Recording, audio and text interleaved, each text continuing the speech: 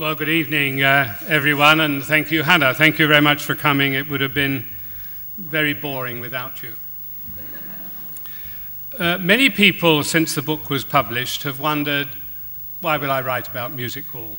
Well, over 50 years ago, I sat at the bedside of an old man who was dying, and I held his hand. Some of the time he was unconscious, and when awake, he was a bit jumbled. But I knew where his mind was, where he wanted to be. He'd gone back half a century. He was back on the stage in music hall. He was taking a bow. It was his final encore. That old man was my father, Tom. My father wasn't a great star, but he did appear alongside many of the greats. He began in music hall round about 1900. And for the next 30 years, he sang and joked and acted and later directed and managed his own revue show, all with his first wife, Kitty. And their partnership ended when a safety curtain fell during rehearsal and crippled her. And before she died, Kitty asked a young dancer in the show to look after Tom and she did for the rest of her life. As Tom's life drew to a close, she sat opposite me holding his other hand. She was my mother, Gwen. My book isn't their story, but their story is one part of it. The overall tale is a much grander tale than that of any two individuals. It's the story of the rise and the fall of Music Hall and the colourful people who were part of it. Music hall didn't spring fully formed into Victorian life. It evolved from that uncrushable desire to entertain. When Cromwell closed the theatres a couple of hundred years earlier, the displaced musicians and singers moved to taverns, and singing rooms were set up that became an ancestor to music hall. When Wellington, as Prime Minister, was worried about the public consumption of gin. Drunk for a penny, dead drunk for twopence, was the way Hogarth put it. So the Duke promoted beer as a less alcoholic alternative. Bad mistake. The number of pubs multiplied, so did the number of singing rooms, and music hall came closer. It was music hall the child of many parents, of pleasure gardens, of health spas, of saloon theatres, and even penny gaffs, dreadful little places where often brutal shows were shown in the front room or the back room of shops in some of the seedier parts of our great cities. Entrance fee, one penny. All of them played a role in the birth of music hall. And so did song and supper clubs where a man called W.G. Ross entered show business history with a song called Sam Hall, a dark song. A dark song in the character of a condemned man on the eve of his execution. Ross was a sensation.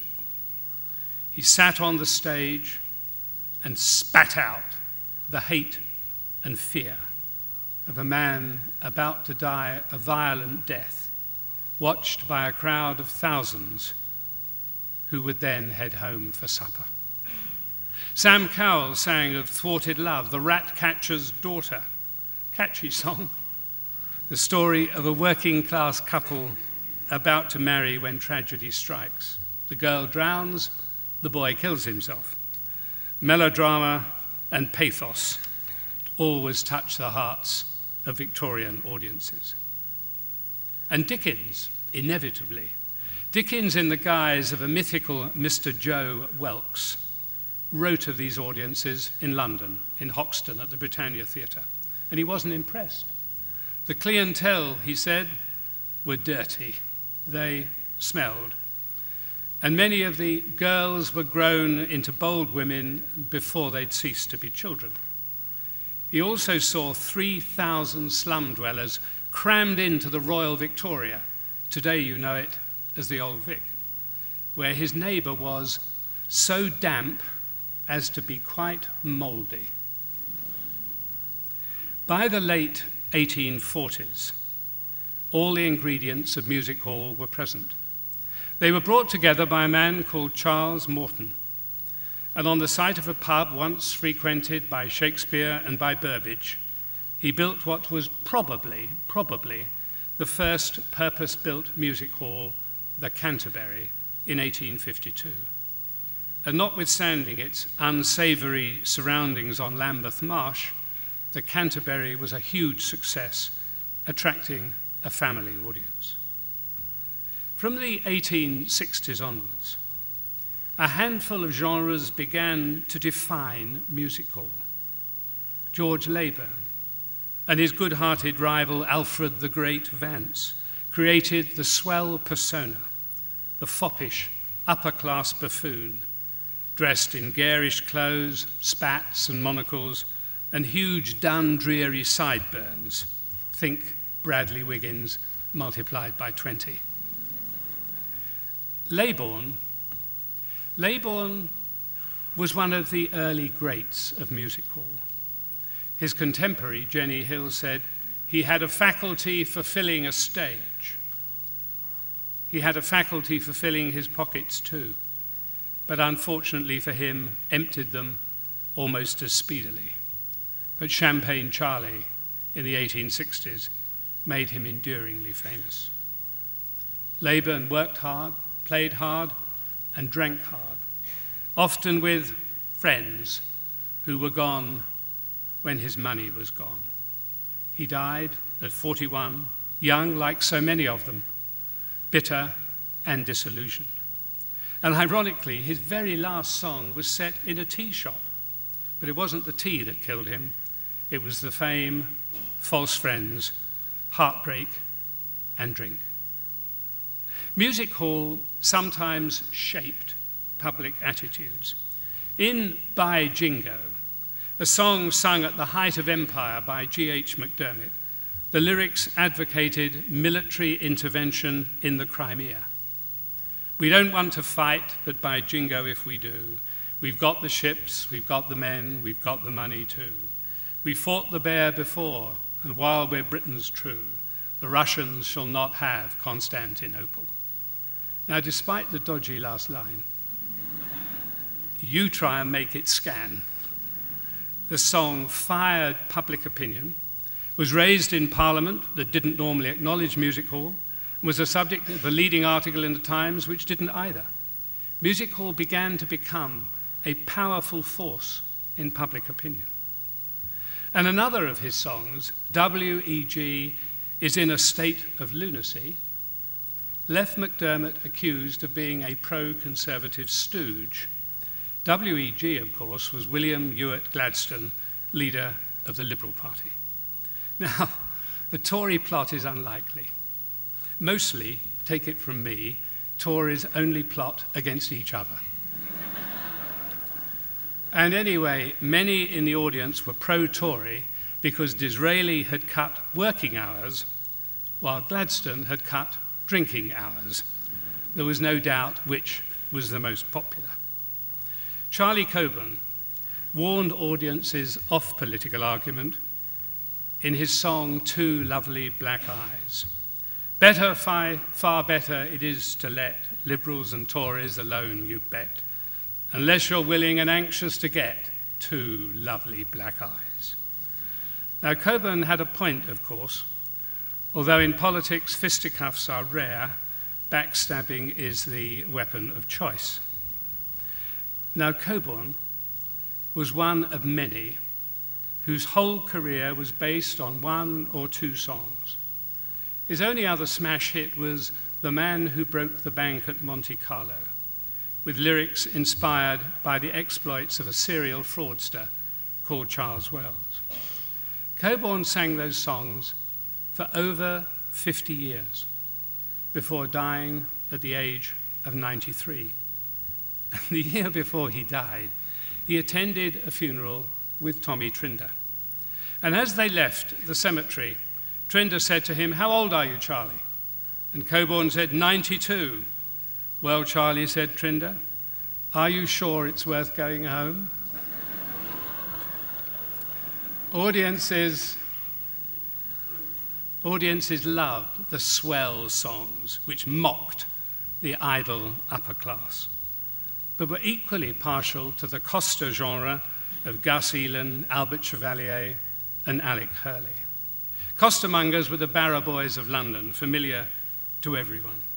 Elen was a typical Coster, with his Cockney songs, including the very politically incorrect It's a Great Big Shame, in which he tells how he deal with a nagging wife, and the more poignant Houses in Between, that struck a chord with all those who lived in cheap rooms, in nasty, unpleasant, insanitary, back to back slums. And that was most of the audience. Oh, it really is a very pretty garden, and Chingford to the eastward could be seen. With a ladder and some glasses, you could see to Ackley Marshes, if it wasn't for the houses in between. The greatest early female star was the waif like Jenny Hill. Jenny's childhood was tough and shrouded in legend. She allegedly was starving with a young child and was sent to a theatre with a note.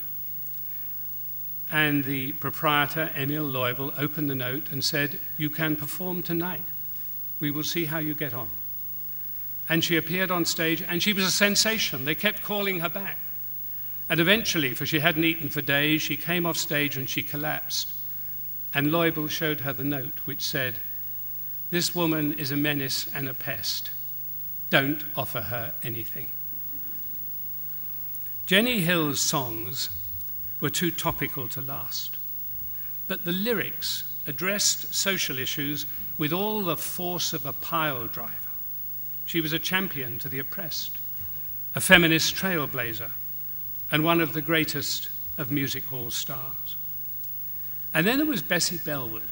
Bessie Bessie was cut from even coarser cloth than Jenny, an Irish girl, a rabbit skinner from Bermondsey. She had a sharp tongue and she took no prisoners. Proudly working class, she had numerous uh, scandalous affairs with impecunious aristocrats whose bills she paid out of her extensive earnings. They were trophy men. Nothing is new.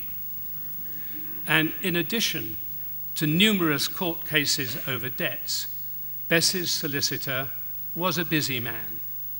On any one day, a charitable kindness in the morning might be followed by a public brawl in the afternoon. She allegedly bit a part of one antagonist's ear off and roughed up a cabby who'd offended her. Bessie was not a woman to cross. And later, female acts were less pugnacious. Vesta Victoria specialized in victim songs. Waiting at the Church tells of a bridegroom who doesn't turn up because his wife won't let him. And in Now I Have to Call Him Father, Vesta's mother ends up stealing and marrying Vesta's boyfriend. You see what I mean about victim songs. When she eventually gets uh, a boyfriend, her boyfriend takes her round to see his mother, and his mother looks her over and keeps saying, Poor John, poor John. But Vesta Victoria toured America many times, became very rich, and enjoyed transatlantic success with a song you'll all know, Daddy Wouldn't Buy Me a Bow Wow, the lyrics of which seem innocent enough. Yet, as my father told me, when performed by Vesta Victoria, they were anything but. Don't ask. Male impersonation began in the 1860s when Annie Hindle began to lampoon the swell persona. Annie's private life was rackety. She married twice, the second time to another woman. She and Anna Ryan lived happily together, both wearing women's clothes and ignoring social convention. And Annie was followed by imitators Ella Vesner, Nellie Power, and Bessie Bonehill, a Birmingham girl who specialized in patriotic songs. And then there was Lona Barrison. Lona Barrison used cross dressing only as a preliminary to undressing. Very risque. Germany expelled her as a, and I quote, notoriously obnoxious person. Ella Shields had a whole string of memorable songs, and you'll remember them all if you knew Susie. Show me the way to go home. And in the Great War, she amused the troops hugely as she satirized the condition in the trenches with, Oh, what a lovely war. But the two superstars of male impersonation were Vesta Tilley and Hetty King. Vesta Tilley, extraordinarily, began male impersonation at the age of eight. Her costumes were meticulous, and her songs became standards. The sentimental ballad, After the Ball, my father's favorite song, I can see him now sitting up in bed singing it with a glass of whiskey in his hand. Those songs were accompanied by her dandy songs, Algy, Burlington Bertie, and many others. Her 1914 favourite, The Army of Today's All Right, was used by the War Office to encourage young men to enlist, which they did in large numbers.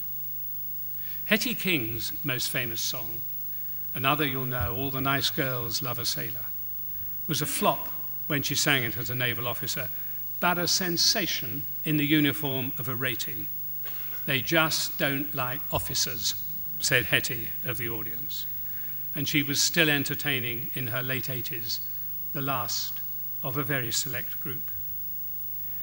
In, in all of music hall's history, a handful of stars stand out. Marie Lloyd is perhaps the best remembered of them all. And her death in 1922 seemed to foreshadow the end of Music Hall itself. Tens of thousands lined her funeral route. There is no one alive who saw her perform, but my father talked of her often and always with a smile and a story. The young Marie had a strong voice and a bubbly personality. Think a young Barbara Windsor. She was a perfect representative of the mean streets in which Music Hall thrived.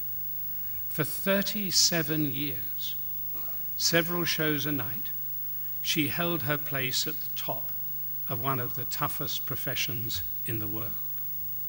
She had an empathy with her audience, and she remained forever one of them. To the end, she preferred eels and winkles and kippers to the grand fare of West End restaurants. Her act was saucy and her lyrics were full of innuendo. Was she vulgar? Yes, of course she was, but only in a carry on sort of way. Even though she was one of the most popular stars in the firmament, Marie Lloyd was snubbed and omitted from the first ever Royal Variety performance. Her last great song, my old man said, Follow the van, did what she had always done. It tapped into the lives of her public. Marie Lloyd was Queen of the Halls and embodied the soul of the nation as few have ever done. The cruel diary of Virginia Woolf noted that in later life Marie was scarcely able to walk, waddling aged, unblushing. She became a relic of the young Marie and collapsed on stage singing, ironically, I'm one of the ruins that Cromwell knocked about a bit. On her gravestone, the following words are carved Tired she was, although she didn't show it. Suffering she was, and hoped we didn't know it. But he above and understanding all prescribed long rest and gave the final call. The tragic Dan Leno, billed as the funniest man in the world in the United States, and the hyper intelligent and sensitive little Tich both had dreadful starts in life. Dan Leno was the son of unsuccessful itinerant players who earned no more than a few shillings a week. At the age of four, his father died, his mother remarried, and his stepfather drank the meagre family earnings. Little Tich, born Harry Relf, was the 15th child of a 77 year old father. He was born with deformed hands and only grew to four foot six inches tall.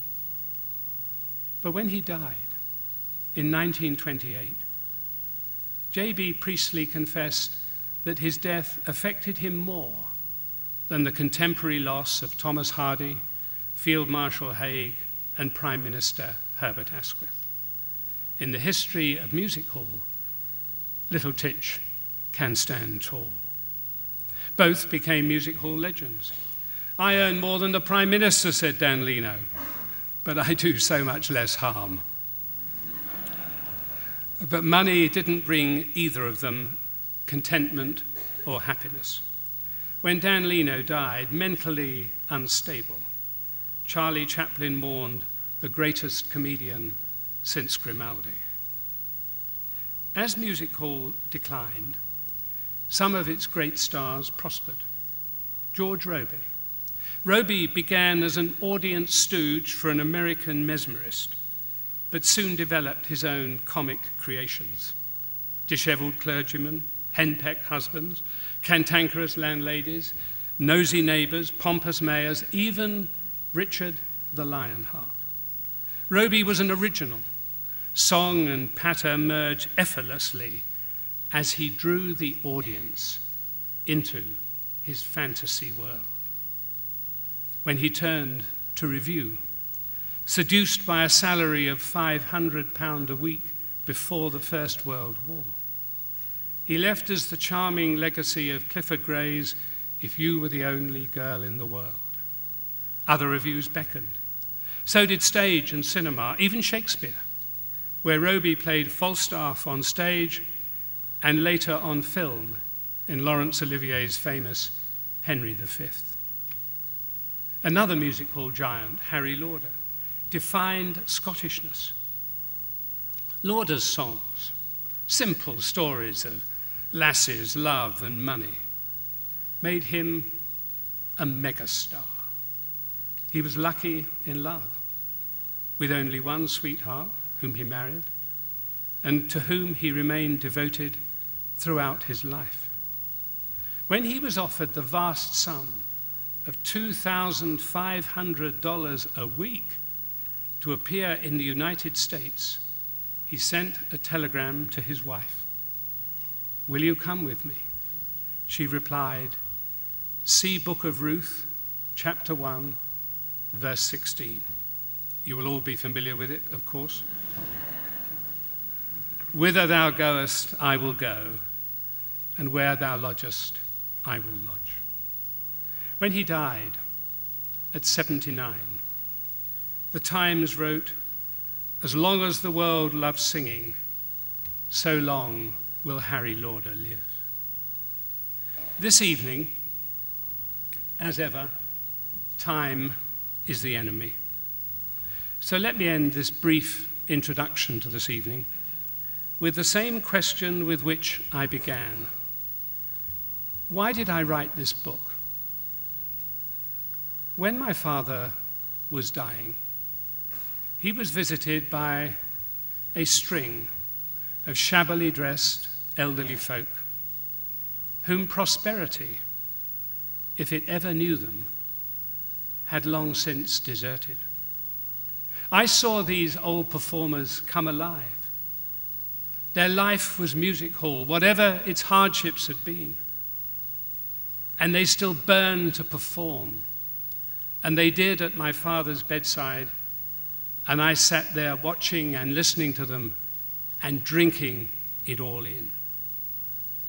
So the question is wrong. It's not, why did I write this book? It is, how could I not?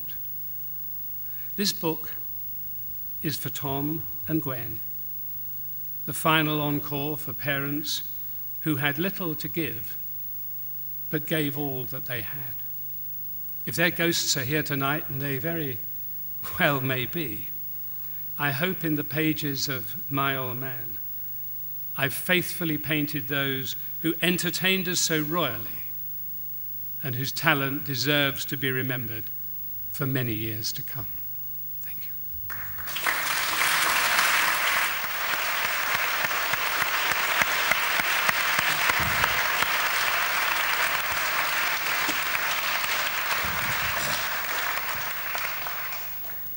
Have about 20 minutes chat now, and I, have got, um, I've got about two hours material, so we're, going to get going. We've got um, a little longer than that. um, so, John, there's a, there's, a, there's a mischievous joke about you, which I'm sure you're tired of hearing, but um, it's said that you're the only man who's ever run away from the circus to join an accountancy firm. And um, I just, when, when, when, when one thinks of your journey um, from a two two, two room flat in Brixton to um, Companion of Honour and Knight of the Garter and, and a cricket expert and at the very heart of the establishment. It's, it's for some reason um, more extraordinary because you came from showbiz. And I, I, don't know whether that's because showbiz is regarded as, as, as frivolous or or, or, or, it's because of your spitting image as, as the grey man, which is in stark contrast to, I suppose, the, the, the bright lights of music hall. Was, um, was there any way that your life is a, can be seen or started out, or was ever a reaction against those, that background, or, or was that the way, I know the press certainly interpreted that, didn't they, and, and mocked you for well, it? Well, I'll tell you a story about that. Um, uh, actually, it's incorrect at the start. I ran away to join a bank.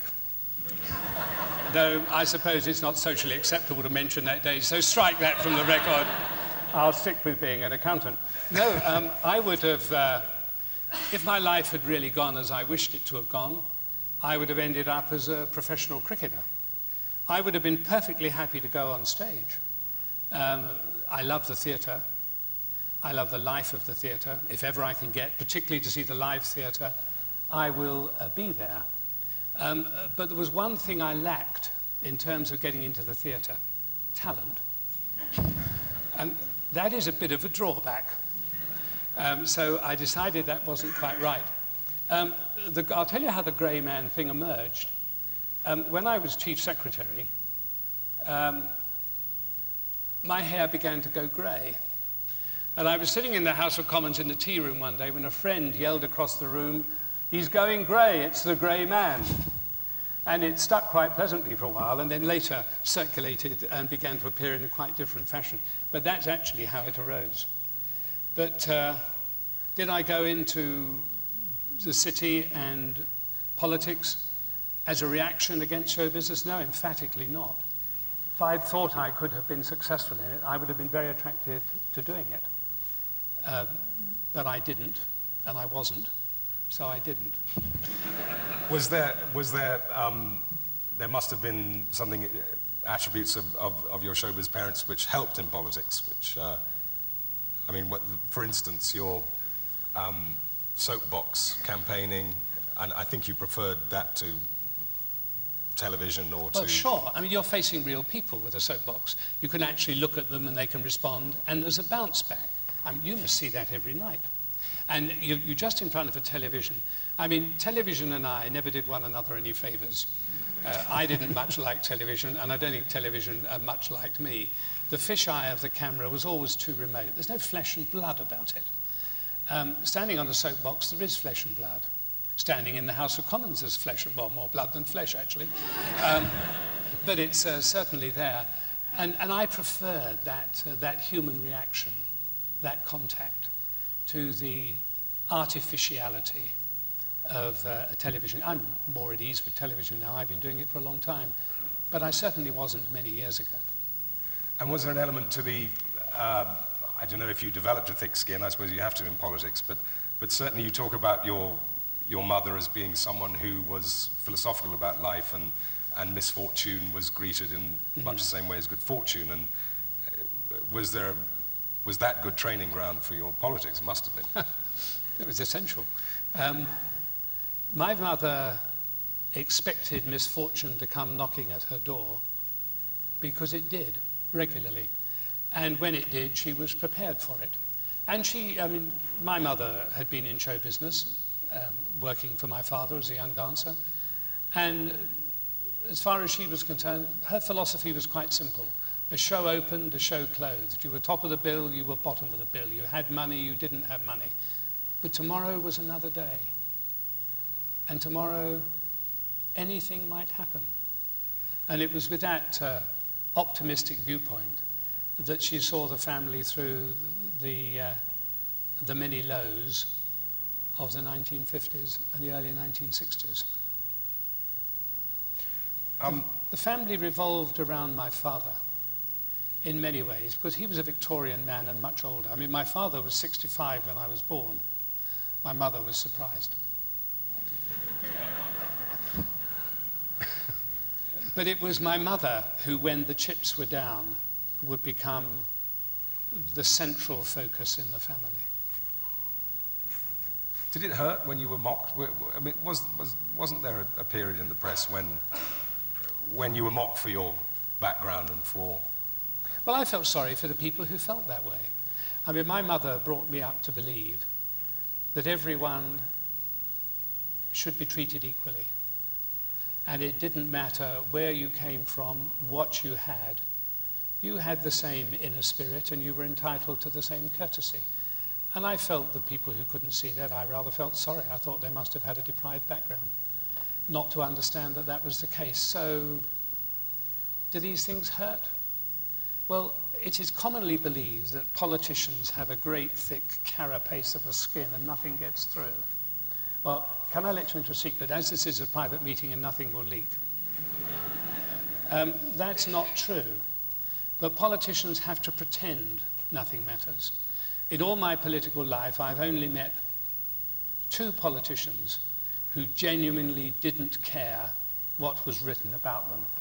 And since one is still about active in politics, I'm not going to tell you who they are. Of but I've only ever met those two. Mostly, it's not true. Who was the other one? no, no. no, no, you can't ease me down that route.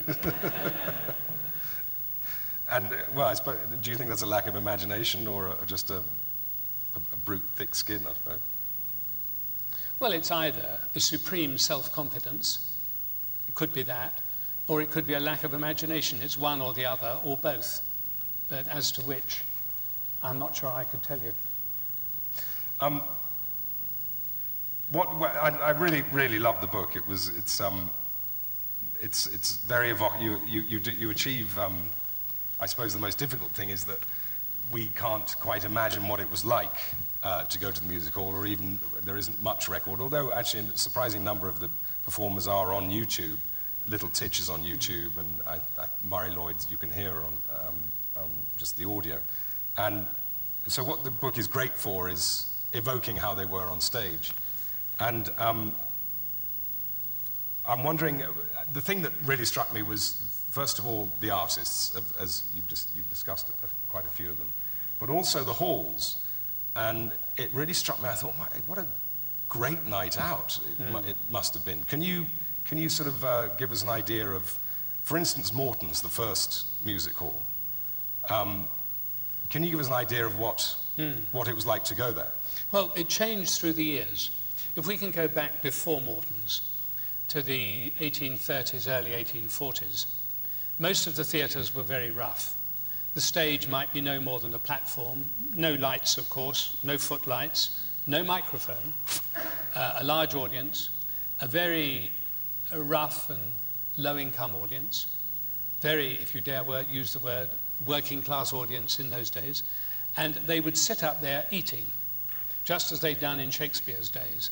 And the women would sit up there, particularly with babies on their hips, the young women, and the audience, many of them were very young uh, with babies on their hips, eating cold fried soles and throwing the fish bones around. So it wasn't a very salubrious place in the 30s and the early 40s. And then Morton developed the Canterbury, which was infinitely better than anyone had seen before. It was plush, it had far more seats, it had carpeting. And people began to respond to the better environment and behave, uh, behave a good deal better. And then it didn't become big enough. And he actually did something quite extraordinary. He rebuilt it while they were still using it by building over the top and enlarging it, then removed the old roof, had the new roof, and a much bigger auditorium. And it was opened over a weekend, they didn't close at all. And then gradually, the nature of the theatres began to change. The stage became a good deal better than it had previously been. They began to replace the tables and chairs that people sat at with rows of seating like this. This didn't start till about the 1860s, rows of seating of this sort. Before that, there was tables. Tables, chairs, and people would eat and drink, and you'd be performing over that noise. And at the back of the chairs, they'd have a little platform to put your drink on. And later, when the Can Can came to London, um, uh, Charles Morton put uh, binoculars on the back of the seats, which you could get out by putting sixpence in the slot uh, as the can-can became ever more popular, though not with the authorities or the media. Uh, the media had lots of articles al- al- along the line of the menace of can-canism must be stamped out. but the theatres gradually became more grand because of a man called Frank Matcham. Matcham right. designed most of the great theatres. If, to, if today you go to um, the Coliseum, or the Palladium, or the Grand in Blackpool, or the Royal Victoria, they were designed by Frank Matcham. Mm. He was the one who removed the stands, the, the, the, the, pillars that used to block the views, and put steel girders under the first floor. He was the one who gradually began, began to make them curve. He introduced fire locks and all sorts of safety improvements. And between the 1860s and the 18, late 1880s is probably the only time in history when it was actually a profitable venture to build new theatres. And they changed dramatically in that time. But, and, and they got, I mean, amazingly sophisticated. The, uh, the, there's, there's, there's extraordinary, the, the statistics in your book are really interesting. The, is it Astley's um, Equestrian? Had 200,000 gas jets, gas lights. Yes. I mean, they were vast, these places. They were very big. And, and how many people were going every oh, night? Oh, they would hold many thousands. Some of them would hold up to 5,000 people. They were absolutely huge. When the Palladium was first built, it was uh, so big that one of the performers described appearing there as like spitting into a canyon, it, the sheer size of it. But of course, the gas lights mention another point. Many of these were wood. They burned down quite regularly. Mm. The Oxford Theatre burned down three times. At the Exeter Theatre in the 18, I think 1871, I could be wrong about the date, the Exeter Theatre burnt down and uh, 186 people were killed. Right. And health and safety began then to intervene, demand more safety measures, and the number of theatres began to diminish because when you put in the safety measures, it was no longer profitable to build them. And is that why, I mean, you talk about the Old Vic uh, holding three and a half thousand people, and I performed there, and we only had, we had, we had a thousand maximum. Mm-hmm. So uh, that was, was it because, I mean, would they have been packing people in and they'd hanging off the rafters? And... They'd have packed people in. I mean, they'd have had groundlings, some of whom would have stood. The seats wouldn't be remotely as comfortable as those everyone is sitting in this evening. They'd have been much ruder and cruder than that in the early days of uh, the Royal Britannia, as it was then called. And correspondingly, they packed many more people in at a very cheap price, probably for most of them only threepence. Right. Um, you devote a lot of one chapter to, to the really interesting, uh, the, the, Mary Whitehouse of her day, um, whose name I've forgotten now. But Laura Ormiston Chant. Ormiston Chant, and she yes. was trying to close down the uh, Empire Leicester Square. Is that the same building as there's today? Yep. Uh, yeah. Uh, this was in 1894. Uh, Laura Ormiston Chant had been a nurse. She had worked in the East End. She'd seen all the deprivation of many of the girls in the East End and the diseases that followed. And she was determined to try and cut back on that. And um, I mean, there's a, yes, there's a, another figure you have is there were 3,000 brothels in London, 80,000 prostitutes. Yes. I mean, that's just staggering, isn't it? I mean, she had a point. Don't do, she had a very good point. Don't, don't do the arithmetic. Well, I mean, if you go to Wilton's, still. Uh, How many were in London? What was the population in London then? Sort of oh, the population in London, a couple of million, I would think, no more. Right. If, if you go to Wilton's, which is still extant and is just being renovated with lottery money um, to uh, appear as a music hall again, Wilton's was built across the back garden of, uh, of five houses, and you had to pass through a brothel in order to get into Wilton's. So the shows often started a little late. but what a night out! What a night out, as you. But Churchill is involved in that story of the empire. Yes. Yeah. Because Laura Ormiston Chant realized around the empire there was a promenade. And lots of uh, prostitutes would assemble there, but they weren't the girls in some of the worst streets. These were really rather high class, well dressed, well bred, reasonably well educated girls, many of whom in due course married their clients. And it wasn't apparent immediately what was going on. But Laura Ormiston Chant had been there several times. She was chairman of the National Vigilance League. And she realized what was going on, and she opposed the renewal of the empire's license um, on the grounds that the people who ran the empire were benefiting from prostitution. Right. Because people were going there because of the girls rather than because of the show. And there was a huge row. The press uniformly took the side of the empire right. and against Laura Ormiston Chant. And uh, the newly born LCC had to decide, and they were split absolutely uh, down the middle between the Puritan and non Puritan elements of the LCC and the embryonic Labour Party. And for a while they tried to ban it. They put up screens to prevent the girls going in. And this is where Churchill enters the story, because as a young subaltern, he was one of the young men who tore down the screens and trampled on them, and then made a speech to the assembled people about uh, the free market and free enterprise.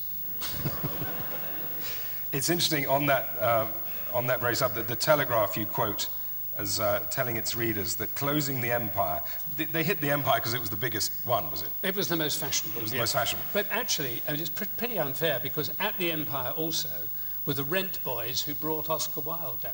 Right. And nobody mentioned that. That was sort of absolutely not mentioned at all. It's like Queen Victoria not well, Queen believing in lesbianism because. Well, well, it, uh, yes, well. but it wasn't illegal because nobody dared tell Queen Victoria what it was all about. Right.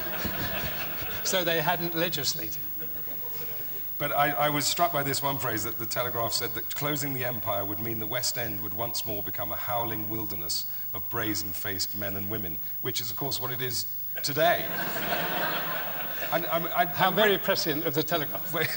Well, I was, I was really struck. I thought, you know, the Coliseum and the Hippodrome and, and the Lyceum and, you know, and uh, what a miserable night out we can have there now. I mean, it's not bad. But then I, I, I really felt we'd, we've lost a lot. Well, I think we have lost a lot in many ways. I mean, in the early days. So why days don't we reopen it, you and me? you appear, I'll help. you sort out the licensing. Well, we could do what Charles Morton used to do with the old theatres. He would walk up and down the aisles with an oven full of hot baked potatoes, which he would serve with lashings of butter. Yeah. Now, who would like a hot baked potato with lashings of butter? Let's have a quick show of hands for a hot baked potato. I think we'd probably sell quite a few. Can we, um, we better, uh, what I, would love to talk about um, some more of the artists, because they, uh, yes, of course. Um, they're just such amazing stories. And, and the one, um, let's talk about George Robey, um, who was, who is also, you can see him on YouTube. When he died, he was one of the few who lived into his 70s or 80s. He did. So he was still around, I think, in the 20s yeah. and 30s. Yeah. And um, well, can you tell us a bit, bit more about him? I, I, I love the, uh, actually, you've got a wonderful description. Maybe I'll read it out. You, this, this is the great thing about this book, is that you do evoke what his performance would have looked like.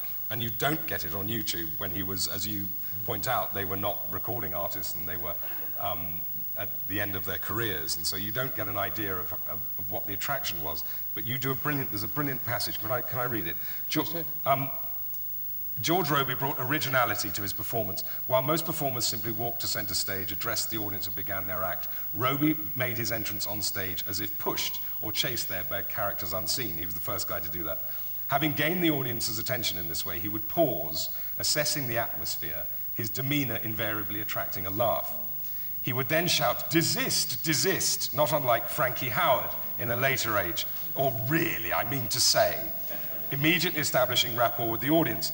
To the accompaniment of sustained laughter, a po-faced Robey would then go on to say, let there be merriment by all means, but let that merriment be tempered with dignity. Remember, he was dressed absurdly. And the reserve, and the reserve which is uh, compatible with the obvious refinement of our environment.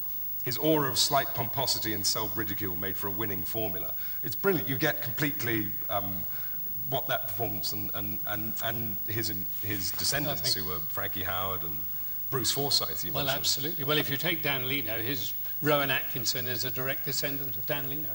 So was the Goon Show. I mean, almost nothing is new. It's all been developed from what happened before. And you see with these early stars how it has been developed for a televisual age. But, but Robey was, was wonderful. I mean, he came from a fairly middle class family. His parents wanted him to uh, uh, go into some form of engineering. Uh, he began performing as an amateur. He changed his name to Roby from his family name of Wade to avoid embarrassing his parents. And originally it was spelled R O B Y. He changed it to E Y when it was misprinted once on a playbill and he thought it was better. And um, he developed a huge range of characters. Um, I mentioned them earlier, so I won't reiterate them again. But he had huge success in almost every aspect of, uh, of show business. He also had lots of passions. He, he was a passionate collector of antiques, particularly Chinese and Japanese uh, porcelain. He was fanatically keen on sport. Member of the MCC, played cricket with W.G. Grace, um, played for Millwall, Chelsea. Did he? In, uh, yes, in charity games. Right. No, he wasn't in their first 11, but he played for them in, to the best of my knowledge. Though sometimes I've seen them play, he might well have been. Um, uh, and, he played for them in charity games. He was fanatically keen on all sorts of sport. And he was also very active. When he moved from doing six shows a night in different theatres, driving between theatres, doing a half hour act, probably only 20 minutes, moving on to the next one, and he went into revue, he had long gaps in the interval and between acts, and he didn't know what to do with himself. So he decided, someone suggested he started to make violins, and he did. and he made violins very successfully in the interval in the midst of his shows. You, you quote. He also had a fairly rackety private life. oh, did he? Yes, he did. When he saw temptation, he usually considered it and then gave in. There's a wonderful passage you quote from uh, Max Pemberton writing about Robey. um, because he did Yes. a, lot, a lot of work Yes. in World War One. Boys in the Trenches, that one. Yeah. Yes. Yeah, and it, it's, it's uh, you say his jests are repeated. Um, we at home will never understand what the name George Robey means to them out there on, at the front. His jests are repeated in the silence of no man's land. In darkness and despair, men will see visions of the great lighted house and the figures of pretty women and flowers from the gardens of England. Upon this scene comes a man who has but to look at them to banish their ills. It's, I, I, it's desperately moving, and I, I, anyway, I'd, I'd love to. He was a very, he was a very great uh, performer. Um, what about? Uh, oh yes. Um, later on, we you talk about Charles Blondin.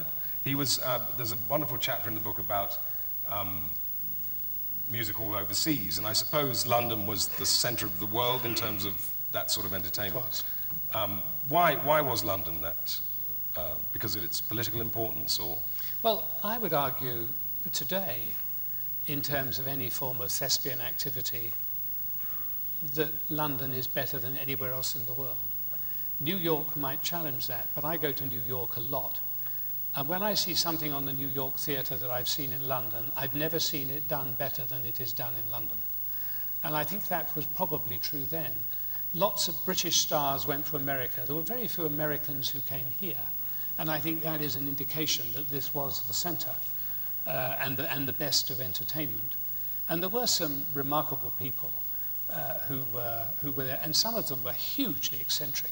I mean, you had very eccentric magicians, you had, you had people whose lives were devoted to those moments on stage when they lived, perhaps better than any other time. And when their talent went, there was nothing left in their life. Uh, Mark Sheridan and T.E. Dunville, for example, both heard people disparaging their act as they got a little older and killed themselves because they couldn't bear it. Because I think people sometimes tend not to realize that when you get great skill like that, to inhabit another body, to entertain, to be someone else, there is a sensitivity in being able to do that that is greater than most of us have. And when that sensitivity is hurt, the reaction is greater than it is for most of us. And these very human people couldn't quite take that Mm. and died. And there were many others who were very eccentric. There was a magician called Washington Bishop. Uh, Washington Bishop was a fraud. Uh, he was sued for libel. He was a bit of a villain. And he collapsed on stage and he died. And he had left a will leaving his body to science if it wanted it. Um, and science did wanted it, and it, uh, science uh, began to dismember it. The next day, Washington Bishop's mother turned up and said, but he wasn't dead. He's always collapsed like this. It's just a fit he has. He wasn't really dead. The doctors have killed him. So there was all sorts of fuss. They did a second autopsy where, for some curious reason, they found his brain in his chest cavity. And there was a frightful fuss, frightful fuss for ages while people decided whether the doctors had really killed this chap before they realized that his mother was as big a fruitcake as he was. Was he Datas? Datas? No, Datas was a man called John Bottle. Um, if any of you saw the first, uh, if you remember the 39 Steps, the original one, Mr. Memory on stage, Mr. Memory was based on Datas. Datas was a man called John Bottle. And John Bottle got on the stage by accident. He was talking in the bar of a pub about a very famous case, the Tichborne claimant. The Tichborne claimant was a man called Arthur Orton, who claimed the Tichborne baronetcy. And for a long time, people believed he really was the Tichborne heir. He wasn't. He was a complete and utter fraud. Did Little Tich get his name? Exactly. Yeah. And eventually, Arthur Orton went to jail for rather a long time. Well, there are two spin offs from this. One, in a pub, uh, this boy, John Bottle, was reeling off all of the facts about Arthur Orton and Tichborne, and it became clear that he was a genius at remembering dates. So they called him Datas and put him on stage, and he was the model for Mr. Memory in the 1939 39 Steps. thing. Um, and um, the other point you raised was Um, what? Little Tich. Tich. Yes, of course. Um, when Little Tich started, the Tichborne claimant, Arthur Orton, was 20 stone. He was huge. And when tiny Harry Relph appeared on stage, people started calling him Little Tich. And so he began to Because he was fat himself. as well as short. Or, or, He was tubby as a little boy, Right. yes. Yeah. He became thin later, but as a little boy, he was tubby. Yeah. And uh, they began calling him Little Tich, and it stuck as a stage name. Um, Blondin, can we talk about him? He, he um, I mean, it was extraordinary what he did, the, the, the show across the uh, Niagara Falls. Um, and he had a great rivalry with, with the great Farini, who you don't seem to have much time for. Or you think he's a bit of a fraud. Well, he was a fraud. Um, or, or what he did was, I mean, Blondin did the most astonishing things, walking across Niagara Falls, offering to carry the Prince of Wales on his back, an offer that for some reason was declined. Um, and he used to appear in theatres with a rope stretched across the theatre, and people would pay five pound at Sheffield Theatre to be wheeled in a barrow above the audience by, um, by Blondin. He also wheeled a little lion cub, did the most extraordinary things, and most of his feats were repeated by the great Farini. But when the great Farini retired, he adopted a boy whose name was Sam Wasgate, who was a trapeze artist. And he appeared for a while as a trapeze artist, doing okay. When Farini had a brilliant idea, he changed Sam Wasgate into Lulu, the beautiful girl acrobat.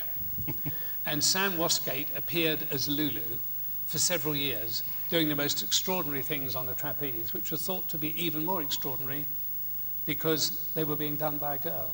Right. Now, how they carried off that deception backstage, in the sort of conditions in which they changed backstage, I have never been able to understand. Was he? Front of stage, I can see how they did it, but backstage, not at all. Was she the first person to be fired out of a cannon? Didn't No, Farini? that, no, that was Zazel. But that was also Farini. It was Farini who invented the spring mechanism that enabled someone to be fired out of a cannon.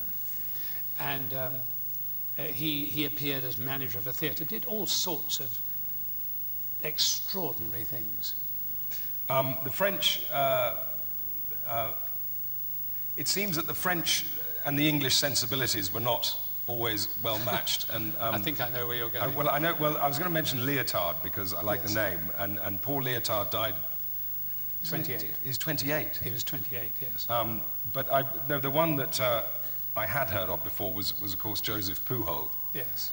who was, a, who was um, the aptly named, who was, a, as you, you, you brilliantly managed to skirt. And he, um, he was a fartiste, wasn't he? He managed to pass air through an external orifice. Yes, that's certainly true. And, and other things. And, and, and, and, he could fart the Marseillaise, I think. And, and, but he came, and he was a huge star in France, wasn't In he? France, yes. And then he came over here and couldn't get a, And couldn't get a couldn't get a booking anyway. I always thought that spoke rather well of the British. I've always been very happy for the French to claim him as one of their own. it reminds me of so many meetings I had with them.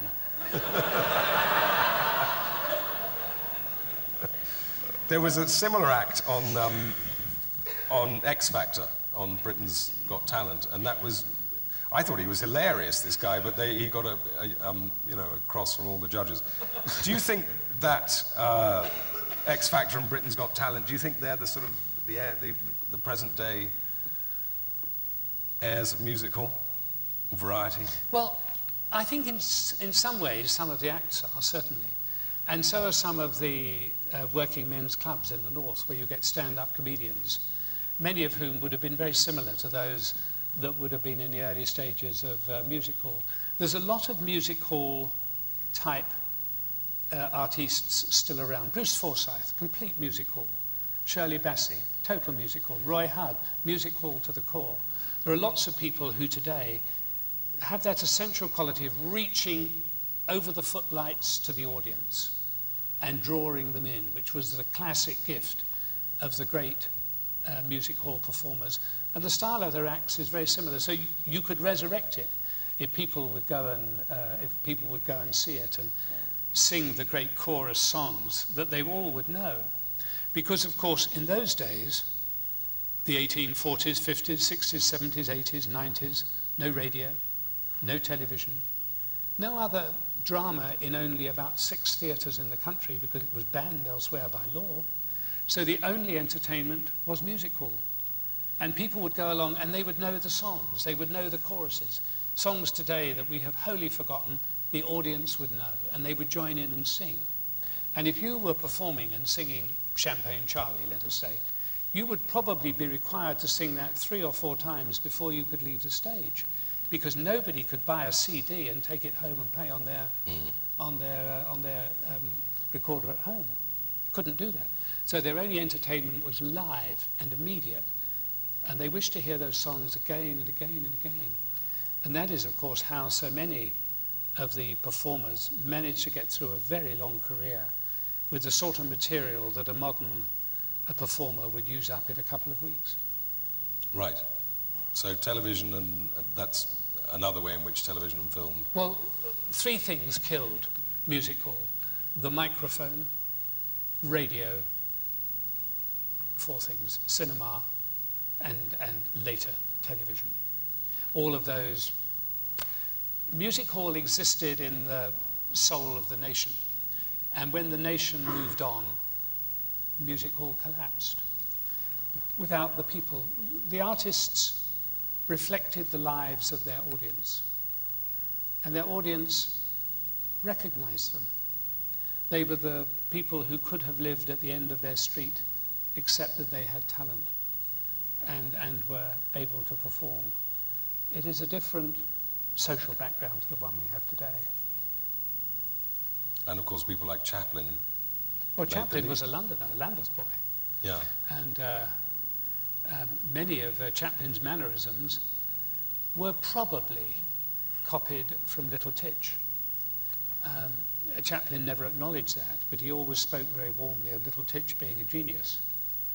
And Tich, of course, hugely intelligent, terribly malformed at only four foot six with these malformed hands and so forth, but a very good brain and hugely sensitive. And he was given all sorts of honors by the French, who admired him. The greatest genius in the world, said one Frenchman, speaking of Tich. But he was never acknowledged by the authorities in Britain at all. And he resented that very much. It hurt him very deeply that he could be honored in a foreign country but ignored in his own. Well, I think uh, we better, if anyone's got any questions, can we, uh, can we open it out to,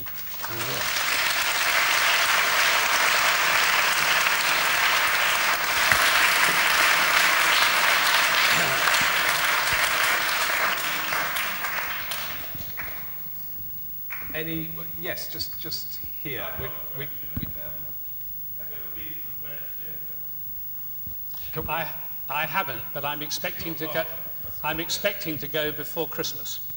Question was, have you ever been to the Players Theatre? Yes. Can you just, will you take that microphone there? Great. Sorry.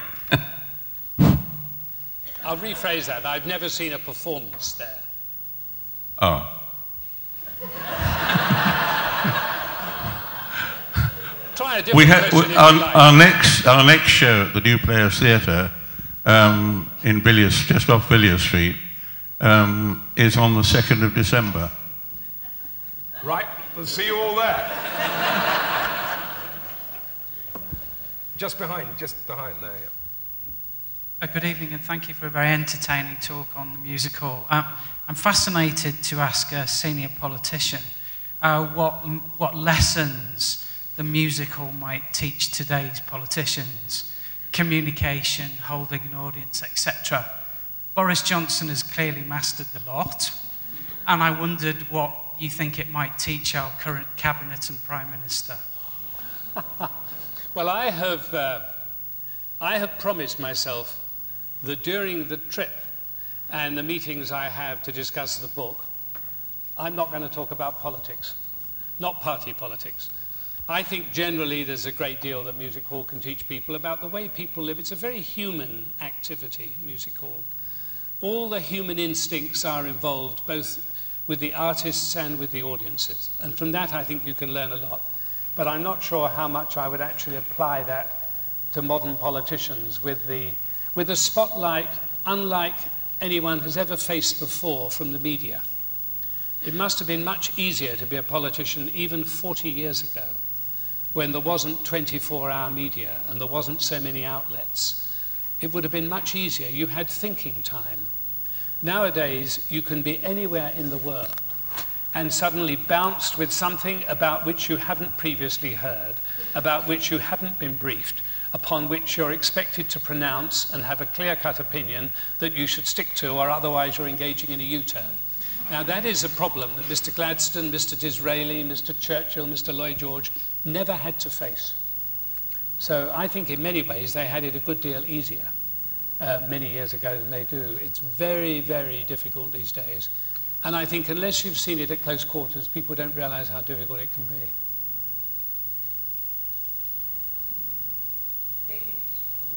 My name is Montague Thomas Norman. My grandfather was Tom Norman, the penny showman, and he was vilified for showing the Elephant Man and various people of that nature. Do not realise, or do not think that these, at those times, that the people that were being shown were being treated far better than they would have been had they not been in the shows? Also, I'd like to say that I was brought up in Brixton. My father was Harold Denver, who knew your father and mother. And I also ran away from the circus because my, and I was uh, brought up as a, in a foster home in Wallingham. And my father would turn up to see me from a local circus where he was in a car with bull horns on, dressed as a cowboy. And he, spe- His name was Hal Denver, and he spent his life dressed as a cowboy with his knife throwing act that toured the world and was also on many of the shows that you mentioned. Thank you. Well, Brixton, of course.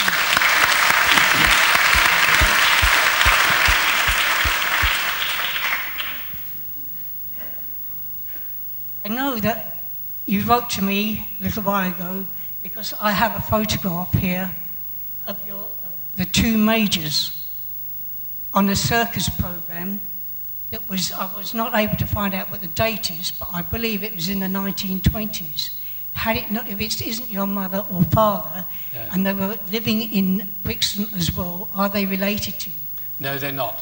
Okay. No, they, I, I mean, they turn up uh, of that name. There are people of that name who turn up in the 1880s, 90s, 1910s, 1920s. To the best of my knowledge, they're not relatives. And one reason I'm pretty certain they're not is that our family name isn't Major. Major was a stage name. It is the name by which I was christened. It is my name, uh, but it wasn't my father's name. Um, and so they weren't relatives. No, they certainly weren't.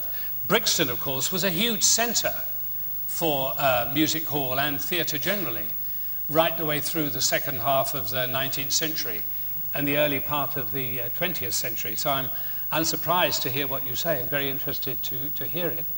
As far as the first part of your question is concerned, people lived then in less sensitive ages. There was not only the, the so called freak shows, which drew huge crowds, and people like Tom Thumb. And one wonders, Tom Thumb became world famous, uh, brought over to England by uh, Barnum. But did he ever, I wonder, have a happy moment in his life? I'm not sure whether he would have done. And um, there was a lot of that sort of entertainment. And of course, in that less salubrious age, you also had the early um, minstrel shows, which would be entirely politically unacceptable today. Can you imagine an act on BBC, G.H. Elliott, the chocolate coloured coon? I don't think so. I don't think people would, different attitudes these days, people would regard it these days as offensive. And the patter of, say, Eugene Stratton, one of the great music hall performers, um, the song Lily of Laguna. How many of you know that? Lily of Laguna? Well, one of the most beautiful songs, I think, of all time that he sang. But he had a patter between his songs that was outrageous. You couldn't possibly say that today without finding yourself in court in about two seconds. So they, they were very less, uh, they, they were very less careful about other people's sensitivities uh, than people are today. Uh, yes, right, uh, hand right at the back there. So, John, uh, thank you very much indeed. Uh, you'd be wrong not to answer this question if you thought it related to politics, because it really relates to what you've talked about today about um, working class entertainments, the fact you're sharing a stage with an Old Etonian. That's a very bad microphone. Oh, actually. sorry. It, It's I, very muffled up here. sorry, I'll, I'll be louder. That's You'd be, wrong, you'd be wrong not to answer this question if you thought it related to politics. It arises completely out of what you've been talking about, that is, entertainments for the working class. You're sharing a, a stage with an Old Etonian. And I just wondered whether you thought, would it still be possible for the son of a showman, for the daughter of a grocer to be head of today's Tory party? or, or would you say that you are, in the words of, allegedly in the words of the chief whip, um, you or, or uh, Baroness Thatcher are too plebeian to rise to that heights today? I think anybody who has the talent, the will, and the good fortune could be leader of any of our major parties these days, and I think it's an extremely good thing that they can. And I personally wouldn't discriminate against old Etonians.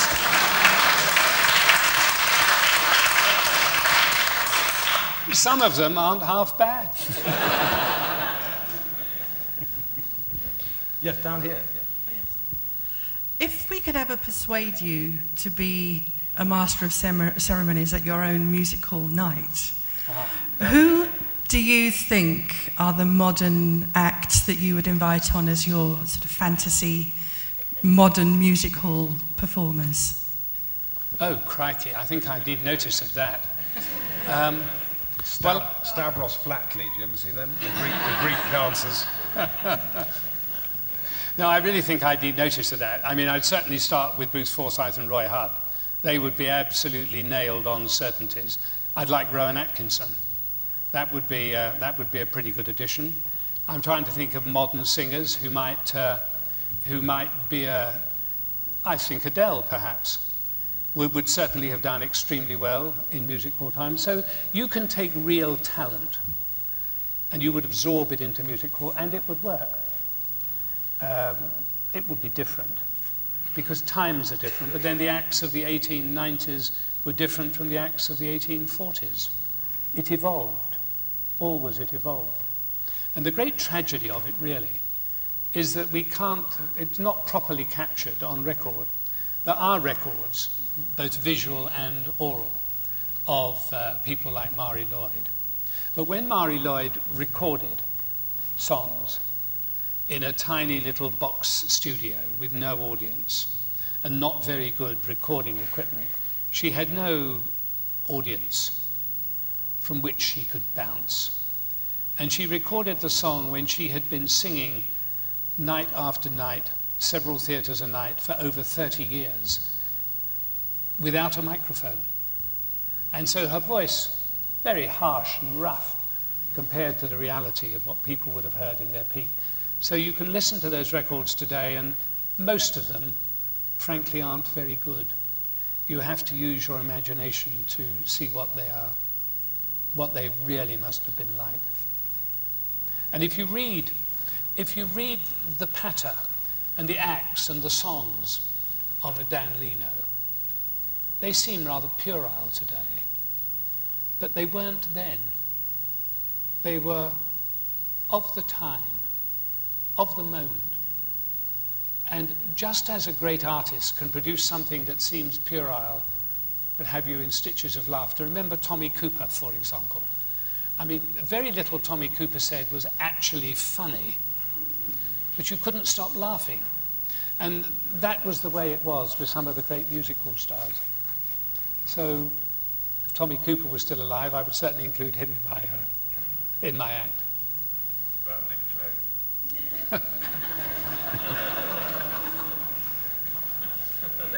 yes, there's a hand up just here.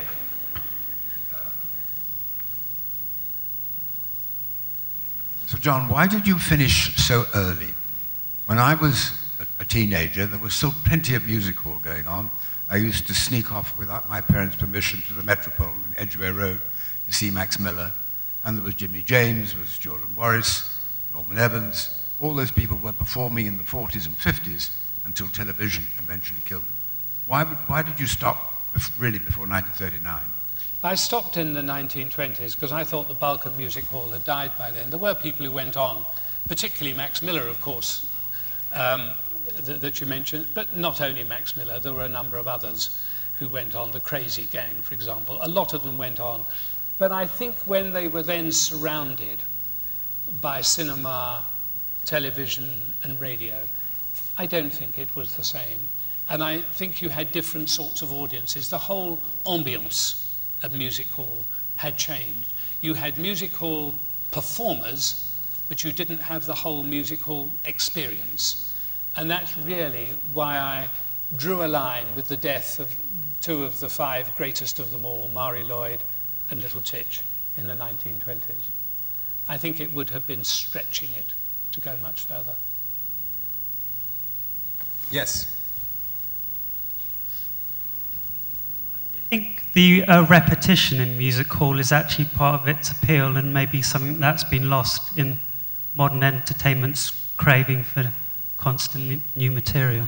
I do. I do think that. I mean, we live in a disposable society these days. You have something, you use it, you dispose it, and you move on. Um, both economically and socially, people couldn't do that in earlier eras.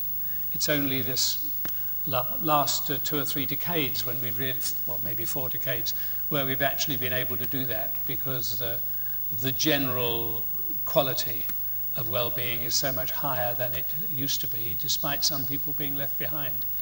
So I do actually think we've lost something. We take things for granted and we toss them away.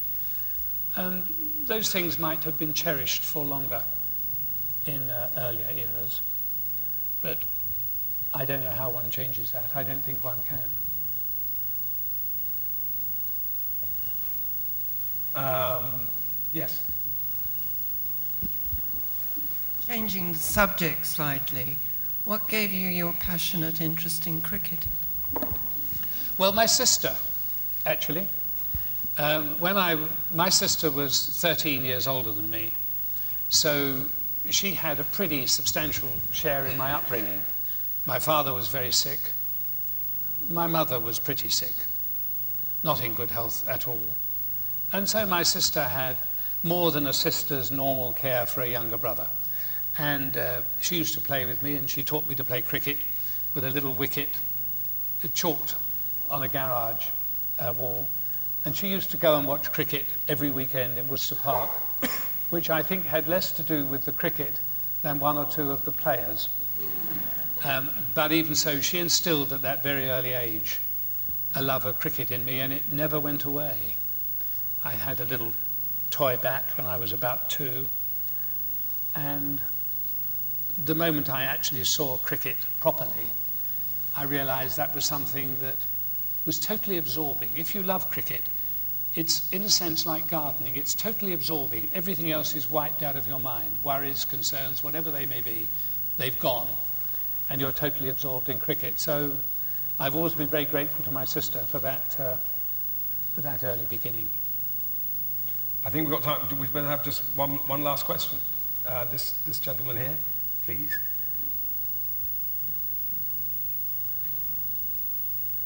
Thank you, Sir John, for such an insightful lecture. In terms of the venues themselves, how many music halls still stand, and what do you see as the future for them? Or it? Well, there are very few. The gentleman who mentioned the Players Theatre, I think that used to be Gatti's Under the Arches at one stage. That was certainly a music hall there. But how much of the original building stands, I hope to find out on the 2nd of December or on some other date. Um, Wilton's still stands, the City Varieties Leeds. I, I was at the City Varieties Leeds earlier, no, last Friday. And I have to say it was a very eerie experience for me because I stood on the stage where my father had topped the bill 99 years before. So it was a very, very moving occasion for me. So there are a few places, but there aren't all that many. Many of them succumbed to the wrecking ball and became cinemas in the 30s and 40s. And we knocked down things that today we would never dream of knocking down. We would regard them as part of our heritage and we would keep them. So there are far fewer than one would wish them to be. There are a handful around the country, but no more. I can't recommend this book enough. It's a, it's a really good read, and it's a, a wonderful history, and it's a, a, a, very poignant personal history as well. So thank you very much, Sir John, for, for sharing with, with us tonight. Thanks a lot. Thanks much.